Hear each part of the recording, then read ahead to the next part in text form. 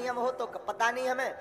लेकिन हमारे मध्य प्रदेश में और कई जगहों पर ऐसा नियम है कि पहली दीपावली के बाद बहू के घर से मिठाई आती है, पूरे परिवार के लिए। राजस्थान में भी ऐसा नियम। है